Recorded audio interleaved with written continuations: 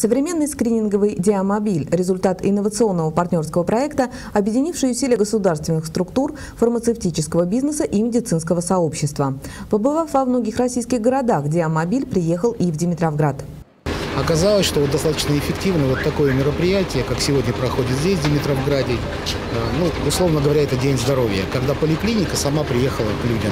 И вот сюда человек, каждый человек может прийти без паспорта, без полиса, без ничего. Просто задача, ну, чтобы он наконец узнал, правильно ли он живет, да, правильно ли он питается, и какого его сахар крови, и в случае получил консультацию измерить уровень сахара в крови и артериальное давление, сдать флюорографию и даже получить консультацию нарколога.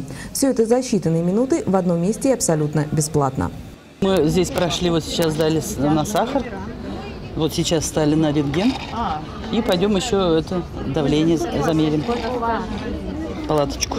Вот.